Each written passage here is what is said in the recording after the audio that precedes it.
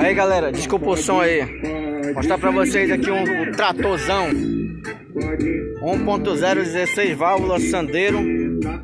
Olha aí, puxando a lanchazona ali.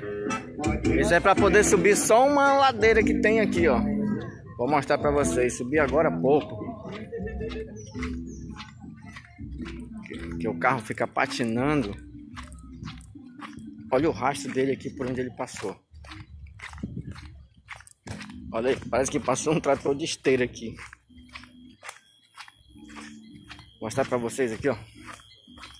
Ia filmar a subida, mas não deu tempo. Olha aí, bem inclinada para poder dar acesso ao rio. Olha aí. Só sobe na corrente, senão não sobe, fica patinando.